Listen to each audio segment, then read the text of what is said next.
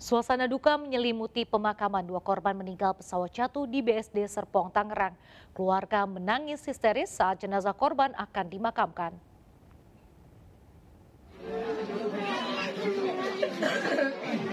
Suasana duka menyelimuti rumah kediaman Mayor Purna Wirawan Swanda, co-pilot pesawat Cessna nomor PKIFP yang jatuh di lapangan Sunburst, Kecamatan Serpong pada minggu siang.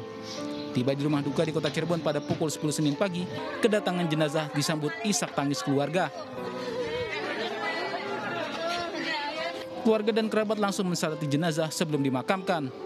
Jenazah Kapten Suwanda dimakamkan di Kampung Karangmalang, Kota Cirebon. Almarhum meninggalkan dua orang anak, istri dan ibunya.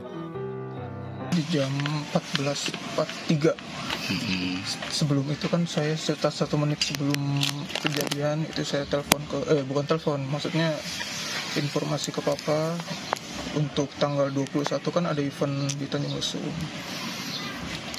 Beliau bilang menunggu info dari beliau gitu.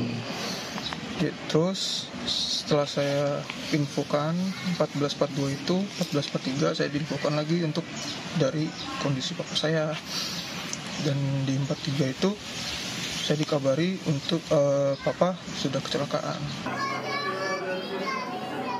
Suasana duka juga terlihat di rumah korban meninggal lainnya, yakni Farid Ahmad yang merupakan mekanik pesawat.